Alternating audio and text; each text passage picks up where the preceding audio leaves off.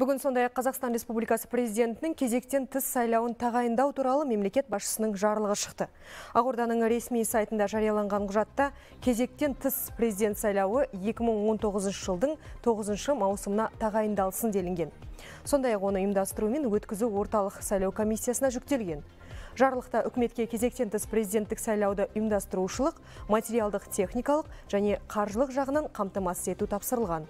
Сондай ақ қаулыда барлық 17 өңірдің әкімдеріне сайлау құқығы бар азаматтардың тізімін дер кезінде жасауды және барлық деңгейдегі сайлау комиссияларына науқанды ұйымдастыру мәселелерін шешуде жан жақты көмек көрсету жүктелген.